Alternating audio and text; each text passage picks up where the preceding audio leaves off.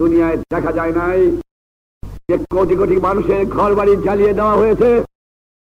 দুনিয়ার ইতিহাসে নাই এক কোটি লোক ঘর বাড়ি ছেড়ে দিয়ে ভারতের বুককে অন্য দেশে আশ্রয় নিয়েছে।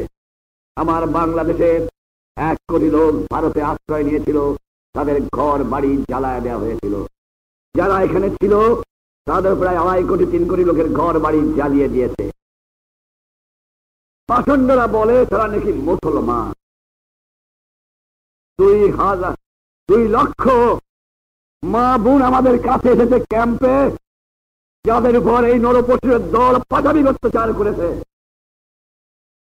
আমার আজকে ত্রিশ লক্ষ লোক, আমার বাংলার কৃষক, আমার বাংলার যুবক, আমার বাংলার শ্রমিক, আমার বাংলার ছাত্রদের হত্যা করেছে।